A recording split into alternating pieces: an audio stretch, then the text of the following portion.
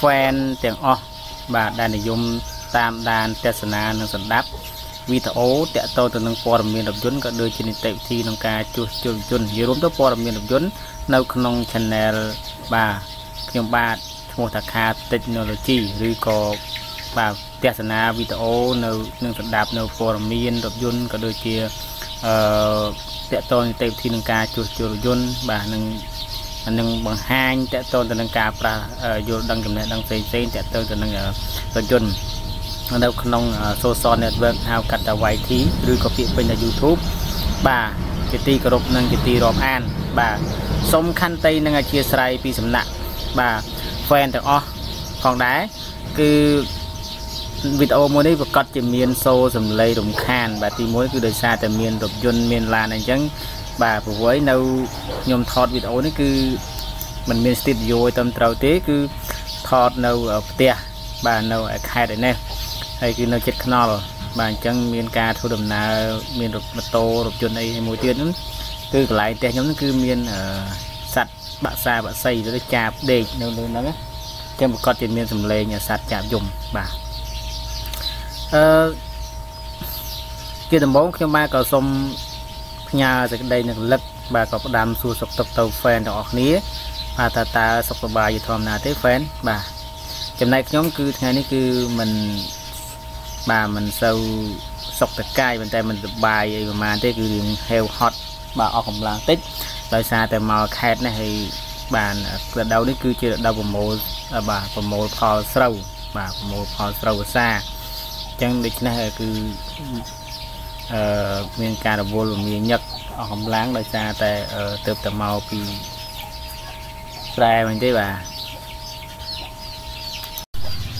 ប៉ុន្តែមិនថ្មីទេទោះជាខ្ញុំមានការនឿយហត់បាទប៉ុណ្ណាក៏ដោយក៏ខ្ញុំឆ្លៀតពេលក្នុងឱកាសនេះគឺធ្វើយ៉ាងណាគឺអឺបង្កើតនៅវីដេអូក៏ដូចជាធ្វើជាវីដេអូតាក់ទងព័ត៌មានរថយន្តបាទចែកជូន fan ទាំងអស់គ្នា ទុកគ្រាន់ បាទទេសនានិងស្ដាប់បាទហើយតកតងទៅវីដេអូថ្ងៃនេះគឺខ្ញុំបាទនឹង review បាទតកតងទៅនឹងវីដេអូរថយន្ត Audi Q8 ឆ្នាំ2019បាទចែកជូនបងប្អូនជាពិសេស fan អស់គ្នាដែលនិយមចូលចិត្តគ្រប់ត្រូល OD អញ្ចឹងឥឡូវនេះសូមជម្រាបថា OD Q8 2019គឺបានចេញហើយបាទបានចេញហើយដូច្នេះសូមបងប្អូនទស្សនាជាមួយនឹងរូបភាព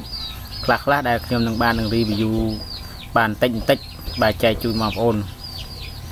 បាទហើយមិនមែនជាលក្ខណៈវីដេអូអីធំដុំទេបាទប៉ុន្តែសង្ឃឹមថាបងប្អូនបានទស្សនានៅវីដេអូតកតនឹង OD Q8 នេះ2009នេះបាទជាពិសេសគឺ fan ខាង Q8 ចឹងរថយន្ត Mazda Audi Q8 នេះគឺឆ្នាំ2019ត្រូវបានហាងរថយន្តល្បីឈ្មោះនៅក្នុងស្រុកក្នុងស្រុកបានន័យថានៅក្នុងប្រទេសកម្ពុជា បាទលក់ដំបូងគេបាទផ្អើលពេញទីក្រុងតែម្ដងអញ្ចឹង Q8 នេះគឺជាប្រភេទរថយន្តរបស់អឺរ៉ុបបាទដែលលក្ខណៈ VIP បាទឥឡូវបងប្អូនចង់ដឹងថា Q8 នេះមានលក្ខណៈពិសេសអីខ្លះអញ្ចឹងខ្ញុំនឹងរៀបរាប់ត្រួសត្រាសចែកជូនពុកម៉ែបងប្អូនជាពិសេសគឺ fan ទាំងអស់បាទនៅក្នុង social network YouTube បាទអញ្ចឹង Audi Q8 ស៊េរីឆ្នាំ2019បំពាក់ដោយម៉ាស៊ីនស៊ីឡាំង6អញ្ចឹងម៉ាស៊ីន V6 ទំហំ3.0លីត្រ ដោយផ្ដល់កម្លាំងម៉ាស៊ីនបាន335សេសវាមានប្រអប់លេខ8វគ្គបែរថា8 speed នឹងឯងស្វ័យវត្តប្រភេទ T Tronic T Tronic បាទនឹងមានលបឿនអតិបរមា209គីឡូម៉ែត្រក្នុង1ម៉ោងសន្ទុះលបឿនកុងទ័រវាលោតពី0ដល់100គីឡូម៉ែត្រក្នុង1ម៉ោងដោយប្រើពេលតែ5.6វិនាទីតែប៉ុណ្ណោះបាទសូមជម្រាបថានេះគឺ លក្ខណៈក្នុងមន្ទីរពិសោធន៍កន្លែងគេទេមិនមែនលក្ខណៈបើកបរតាមផ្លូវបងប្អូនកុំឆ្ងល់បាទតើយន្តនេះបំពាក់ដោយបច្ចេកវិទ្យាភ្លើង LED អញ្ចឹងភ្លើង LED មកពីថា LED បានន័យថាភ្លើងយ៉ូតដល់ទំនើបរបស់ OD ដែលអាចបញ្ចេញភ្លើងឬក៏បំភ្លឺភ្លើងឲ្យសញ្ញាបែបឆ្លាតវៃដើម្បីស្វាគមន៍ម្ចាស់ឡានពេលមកចិត្តត្រៀមបើកទ្វារឡានចូលទៅខាងក្នុងអញ្ចឹងភ្លើងគឺខាងក្នុងបាទវាបំពាក់ដោយប្រព័ន្ធសំឡេងផលិត ផ្ទាល់ដោយ OD ចំនួន10ហើយផ្នែកតាបឡូមានផ្ទាំងអេក្រង់ LCD ប្រភេទ touch screen ទំហំ12.3អ៊ីងនិងមានភ្លើងភ្លឺតាបឡូច្រើនពណ៌ដែលអាចតម្រូវតាមចិត្តនិងអារម្មណ៍របស់អ្នកបើកបរអអញ្ចឹងបើយើងគិតមើល screen 12 inch ជាងវាស្មើនឹងប៉ិនកុំព្យូទ័រហើយបាទ screen វាប៉ិន screen កុំព្យូទ័រហើយបាទកុំព្យូទ័រខ្លះគឺមាន12 inch ជាងឯងបន្ថែមពីនេះរថយន្តស៊េរីឆ្នាំ 2019ដល់ទំនើបនេះមានបច្ចេកវិទ្យាផ្លិតជូតទឹកភ្លៀងដោយស្វ័យប្រវត្តិនិងមានបច្ចេកវិទ្យា sensor មុខក្រោយរថយន្តបន្ថែមពីលើកាមេរ៉ាដែលផ្ដល់ភាពងាយស្រួលក្នុងការចូលចតចឹងមកយើងនិយាយឲ្យចំគឺមាន rain sensor បាទបាទន័យថាជូតត្រូវភ្លៀងមកឲ្យតែមានទឹកមានដំណក់ភ្លៀងធ្លាក់ពីលើកញ្ចក់ហ្នឹងគឺយើងដាក់អូតូមកគឺវាបើកធ្វើការដោយស្វ័យប្រវត្តិហើយអញ្ចឹងវាធ្វើការនៅពេលដែលមានដំណក់ទឹកបាទស្រក់លើកញ្ចក់មុខនឹងឯង ប៉ុន្តែលឺលឿនកាច់មកអូតូដែរណាអញ្ចឹងប្រព័ន្ធហ្នឹងគឺគេហៅថា rain sensor បាទហើយមួយទៀតតកតទៅនឹង sensor កាងក្រោយហ្នឹងគេហៅថា sensor sonar sensor sonar sensor ហ្នឹងគឺវាប្រាប់អំពីរយៈចម្ងាយដែលអ្នកធ្វើដំណើរនៅពីមុខឬក៏នៅពីក្រោយប្រហែលជាកន្លះម៉ែត្របាទអញ្ចឹងវាផ្ដល់បញ្ជូនដំណឹងបាទអ្នកឡានខ្លះបញ្ជូនដំណឹងជាសំឡេងស្រែកជីជីជីជីជីអញ្ចឹងទៅបាទអ្នកខ្លះលឿនជាសំឡេងអីអញ្ចឹងទៅតាមអាស្រ័យទៅលើគេផលិតឡើងឯងបាទ បាទអញ្ចឹងវាឲ្យបន្ទាប់មានភាពបាទមានកាមេរ៉ាអញ្ចឹងវាមានកាមេរ៉ាមុខកាមេរ៉ាក្រោយដែលធ្វើឲ្យប្រាប់ទីតាំងរបស់យើងនៅមុខនៅក្រោយមានបោះឲ្យអត់នៅចំហៀងនៅឆ្វេងស្ដាំនឹងមានឲ្យអត់អញ្ចឹងណាងាយស្រួលក្នុងការយើងចូលចតណាអញ្ចឹងកន្លែងហ្នឹងគឺវាអាចផ្ដល់សញ្ញាផ្ដល់ដំណឹងដល់អ្នកបើកបរពេលចូលចតតែម្ដងអញ្ចឹងដោយសារកាមេរ៉ាហ្នឹងយកវានេះតម្លៃនៅទីផ្សារបរទេសប្រហែលជា60000ដុល្លារតែតម្លៃក្នុងស្រុក ហាងដែលនាំមកលោកបានបញ្ជាក់មិនបានបញ្ជាក់តម្លៃទេ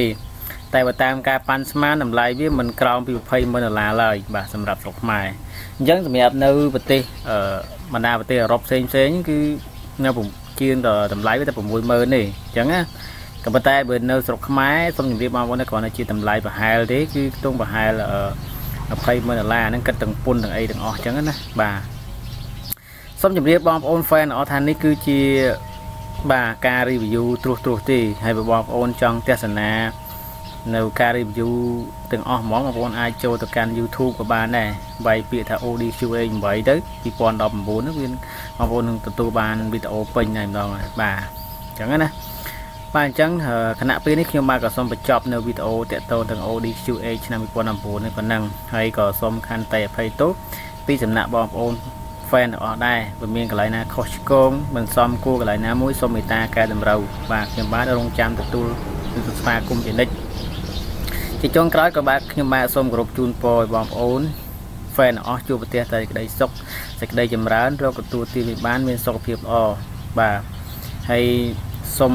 កុំភ្លេចបាទមេត្តាជួយចែករំលែកនៅវីដេអូរបស់ខ្ញុំបាទ បាទផងដែរបើសិនជាគិតថាបងប្អូនគិតថាវីដេអូនេះវាល្អវាមានប្រយោជន៍សម្រាប់មនុស្សទូទៅបាទអញ្ចឹងគណៈពេលនេះខ្ញុំបាទសូមគោរពលាសូមអរគុណយើងនឹងជួបគ្នានៅវីដេអូបាទជាបន្តបន្ទាប់ទៀតតកតងរថយន្តច្រើនទៀតបាទហើយអរគុណច្រើនណាស់ចំពោះបងប្អូនលោកស្រីនាងកញ្ញា fan ទាំងអស់ដែលបានអឺគ្រប់គ្រងនៅ channel របស់ខ្ញុំបាទអរគុណច្រើនមែនទែនហើយខ្ញុំសន្យាជាមួយនឹងបងប្អូនថាគឺនឹងខិតខំប្រឹងប្រែង